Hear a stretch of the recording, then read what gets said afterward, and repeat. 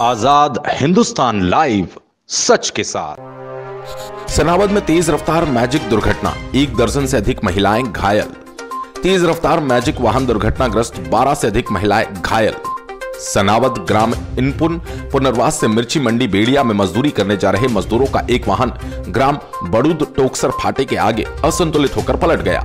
वाहन में बैठे युवक ने बताया कि चालक की लापरवाही से घटना हुई। इसके बाद घटना में करीब 12 से अधिक महिलाओं के घायल होने से सिविल अस्पताल लेकर आए, जिनका प्राथमिक इलाज प्रशांत काजवे, विजय कोरी ए एस चौहान ने घायलों का उपचार किया। रविवार को बेड़िया में साप्ताहिक अवकाश के दिन मिर्ची मंडी में अधिक मजदूरों की आवश्यकता होती है। इसीलिए ग्राम इनपुन पुनर्वास से 22 महिला मजदूर एक वाहन में सुबह सात बजे ग्राम से रवाना हुई। लेकिन ग्राम बड़ूद के आगे टोकसर फाटे के पास टेंपो चालक की लापरवाही से वाहन मोड़ पर असंतुलित होकर पलट गया। घटना की जानकारी लगते ही बड़ी संख्या में स्थानीय ग्रामीणों ने वहाँ पहुंचकर घायलों को सिविल अस्पताल पहुंचवाया जहाँ सभी घायलों का उपचार किया जा रहा है। अस्पताल से प्राप्त जानकारी के अनुसार वाहन में 22 लोग सवार थे जिनमें करीब 12 से अधिक महिलाएँ घायल हुई।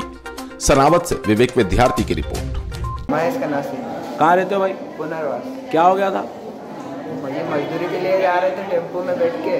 तो टेंपो वाला इंदौर का है वो स्पीड में ले जा रहा था टर्न थी सामने। तो टर्न में लेने में उसने एकदम से स्पीड में ही रखी और ब्रेक उसने मारा टर्न लेते तो पलटी का गाड़ी। कितने लोग थे? बाईस। कहाँ जा रहे थे आप लोग? ये बेड़िया। पलटी का सड़क से नीचे उतर गया। कि वहीं सड़क पे पलटी सड़क पे ही गया और सड़क से नीचे उतर गया था। किसी को ज़्यादा लगी तो नहीं? लगी है छः सात लोग। माथे और सर चोट लगी